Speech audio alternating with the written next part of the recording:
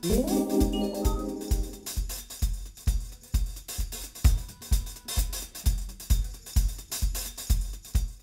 everybody, it's Adam with Frazer. It's time for another how-to video. This is a good one, how to service your MEP system. So it's actually really, really simple. We're gonna talk through it.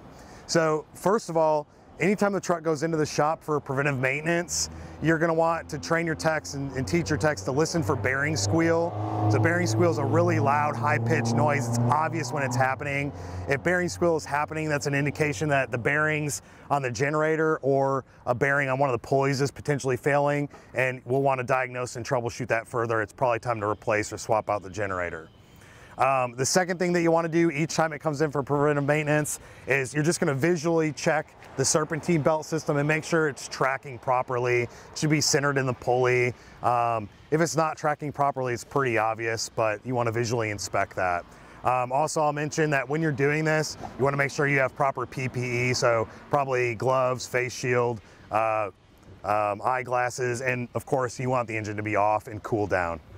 Um, so every 2,500 engine hours, this is where the more thorough preventive maintenance comes in.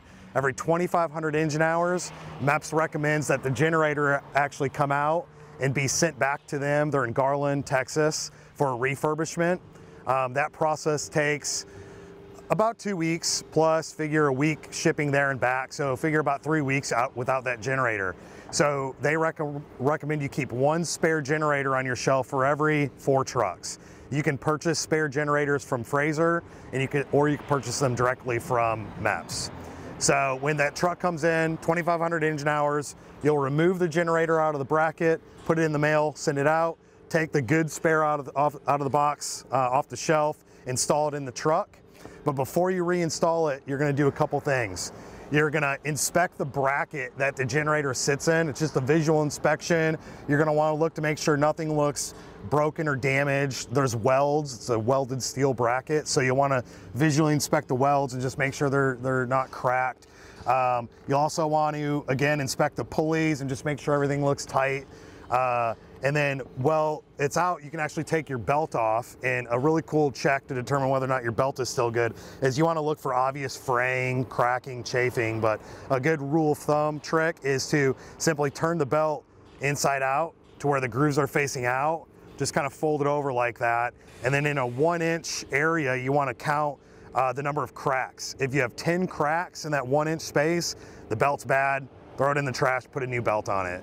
Fewer than 10 cracks, uh, you could you could uh, put it back in, in the truck and, and, reuse it as long as again the belt's not like dried or chafed in other areas.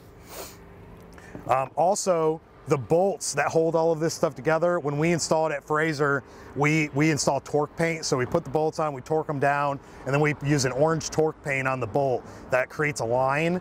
If that orange torque paint is still in that connected line, you know that bolt is still tight. If the torque, torque paint is missing or it's um, out of alignment, meaning you know, you'll see the torque paint in two different areas, the bolts likely come loose. So you wanna go back through there and check everything and make sure it's all still tight, and then reapply torque paint if you need to in that straight line. Um, you'd reinstall the generator, put it all back in, put it all back together, start the truck, listen for bearing squeal, visually inspect and make sure the belt's tracking uh, correctly, but you should be ready to put that back in service.